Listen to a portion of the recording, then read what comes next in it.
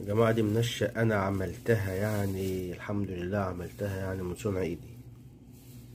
ديت آه، العصا ده بتاعت ال... حتى عصا قديمة يعني. المهم جبنا أكياس اللي هي أكياس ال أكياس دقيق أو أكياس سكر. شلت منها الخيط. الخيط ده شوفوا على فكرة هي متعبة جدا في اعملها لأن الخيط ده متعب شوية في تجميعه كده و يعني الحمد لله يعني جمعته كده. وبعدين ربطته على العصا ده وأنتم شايفين.